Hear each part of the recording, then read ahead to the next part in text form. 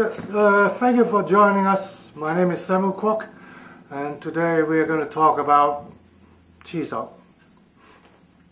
What is Chi Chi is a form of training in the Wing Chun system.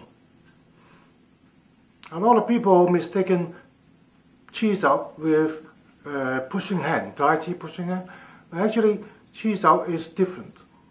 If Tony punch me and I block after the blocking, if I carry on trying to push against him, then I'm just wasting my energy. But also get create a danger for myself. It's the same if I punch Tony and he blocks me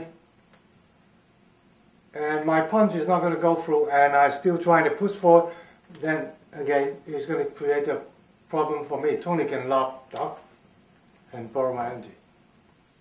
Common mistake is everybody in the form we are doing in this way and the talent's always going forward.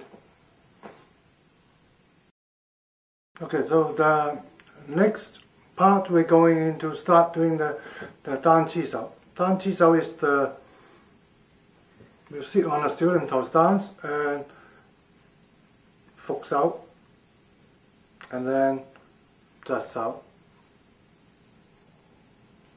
punch okay and then form a ball tie four so it's bounce out hands out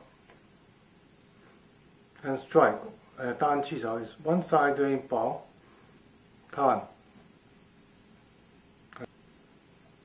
so at this point uh, Stephen feel that I'm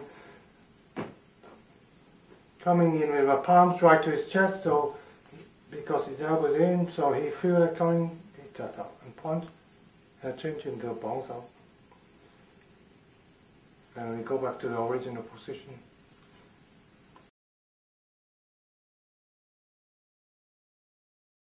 Right, we're going to show you uh, the basic attacking defending techniques.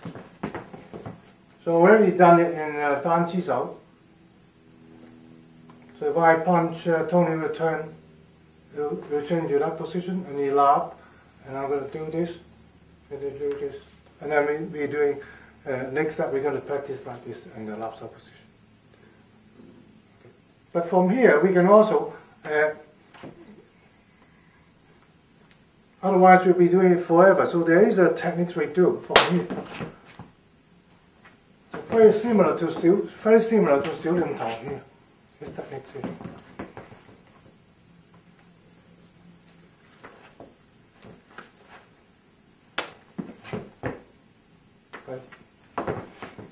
So this is one of the parts out techniques we do.